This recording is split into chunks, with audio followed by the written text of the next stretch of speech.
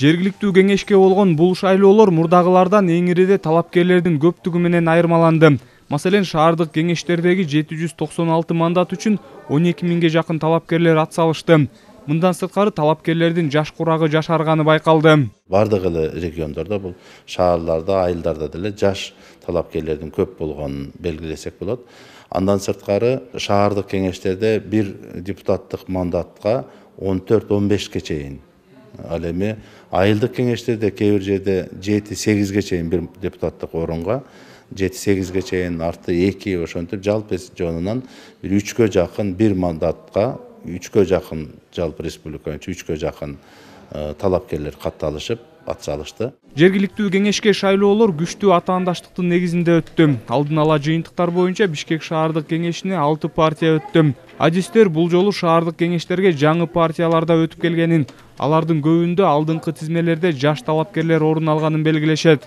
Уже ушундай э, кадамдар көп болуп атат саясий партиялардын арасында мисалы үчүн ошол эле жаш жаш ушундай партиялар жаңы э ушундай аттары чыгып атат. Ошого окшотуп баягы партия негизи институт болуш керек да. Жөн эле шайка бир эле э, он чакты киши чогулуп акчасы болсо эле партия деп аталып калып атпайбы азыр? Жок мындай идейный болгондо менин оюмча элдерге кийин акча деле керек эмес болуп калат. Адаттагыдай эле шайлоого катышкан партиялардын элге берген убадалары асмандагы айды алып берүүгө чейин жетти. Ошону менен катар айылдык кеңештерге бараткан талапкерлердин да убадалары олуттуу болду өзүнүн укук милдеттерине кирбеген маселелер да көтөрүлүп бир талапкер түндүк түштүк жолунун курулушун бүткөрүүнү убадалаган.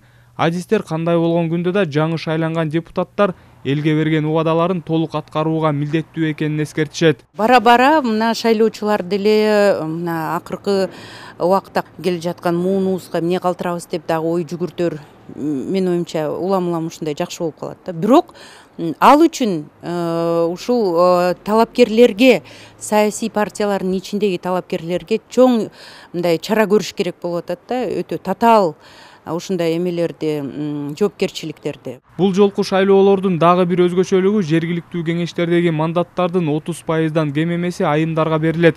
Мындай эреже мыйзам аркылуу бекитилген.